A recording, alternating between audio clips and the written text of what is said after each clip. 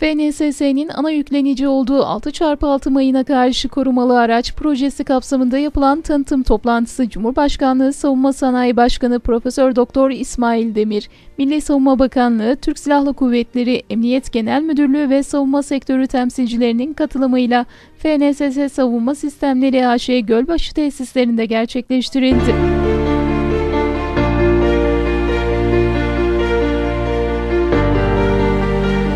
Toplantıda konuşan Savunma Sanayi Başkanı Profesör Doktor Demir, personelin karadan emniyetli bir şekilde intikalini sağlamak amacıyla yeni nesil yüksek koruma kabiliyetleriyle dizayn edilen bu aracın sahip olduğu uzaktan komutalı silah sistemiyle de görevi esnasında maruz kalabileceği saldırıları hem meskun mahal hem de arazide bertaraf edebileceğine vurgu yaptı.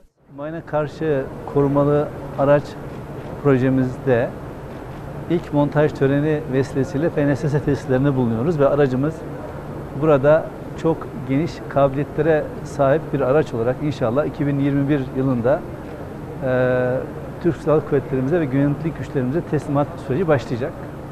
Aracımızın koruma kabiliyeti çok yüksek. Aynı zamanda üzerindeki silah sistemleri ve görüntüleme ve iletişim sistemleriyle ordumuzun ve güvenlik güçlerimizin gücüne güç katacak bir aracımız olacak.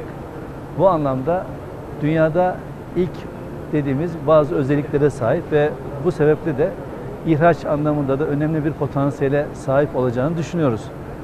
Bu güç çarpanı olarak ordumuza önemli bir katkıda bulunacağını beklediğimiz aracımızın hayırlı olmasını temenni ediyoruz. Ve burada yürütülen sistemlerde en önemli unsurlardan birisi de içinden geçtiğimiz süreçte çeşitli kısıtlama ve ambargo faaliyetlerinin artarak devam ettiğini görüyoruz.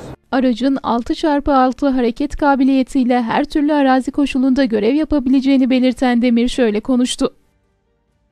Süreci yürüten şirketimiz de yine bu tür yasaklamalarla ve ambargolarla karşılaştığı halde bunları aldırmadan her türlü kısıtlama ve engeli yerli üretimle aşarak yoluna devam etti.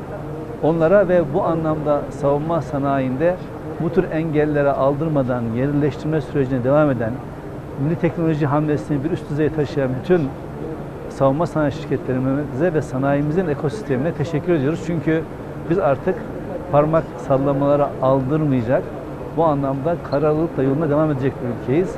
Ve bize her tehdit, her kısıtlama başka bir uyarı fişeği niteliğini taşıyor.